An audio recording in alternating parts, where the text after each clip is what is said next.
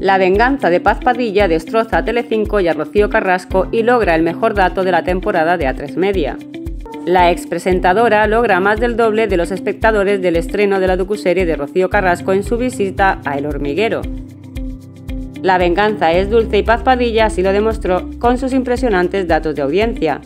La ex presentadora obtuvo más de 2 millones de espectadores y logró una cuota en prime time de 17,6, mientras que Telecinco no alcanzó ni el millón de espectadores con la final de Idol Kids y una cuenta muy baja de un 8,4. Pero Paz no solo demostró ser la mejor en su franja, sino que tuvo el doble de espectadores de la gallina de los huevos de oro en Telecinco, Rocío Carrasco. El estreno de la docuserie si acaso pasó el millón de espectadores. Paz Padilla más feliz que nunca por su salida de Mediaset y su fichaje por A3 Media. La popular actriz y presentadora ha compartido unas imágenes con Pablo Motos. A Sonsoles y Paz Padilla se las ve radiantes y felices desembarcando en San Sebastián de los Reyes, pues ambas emprenden ilusionadas una nueva etapa profesional.